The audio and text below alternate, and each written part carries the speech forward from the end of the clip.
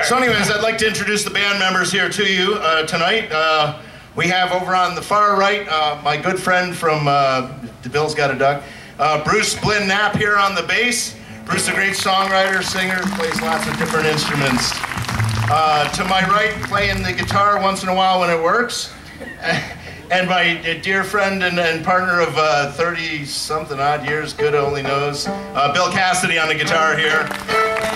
Plays it when it doesn't work, you just can't hear it. To my, to my left on the fiddle and the mandolin, one of the finest pickers in the North Country, Mr. Sean Cohan. Thank you.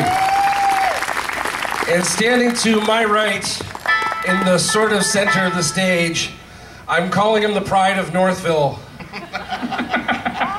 Oh, that's sad. He plays he plays guitar, he plays banjo, he plays MC right here on stage for these concert shows. And um, uh, before we do anything, I want to make sure that we all acknowledge Don Hoffman for the great work that he's been doing here with the Swan and with with the shows. This is Don Hoffman.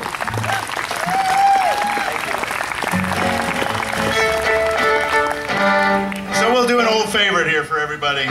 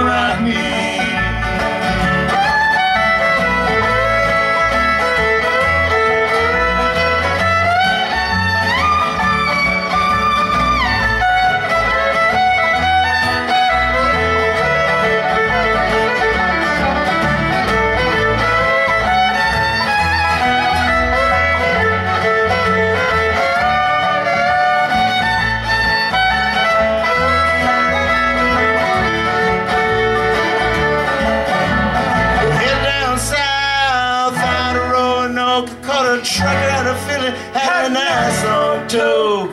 He's headed west from the Cumberland Gap Johnson City, Tennessee. I gotta get a move on me for the sun. Hear my baby calling my name, and I know that she's the only one. If I die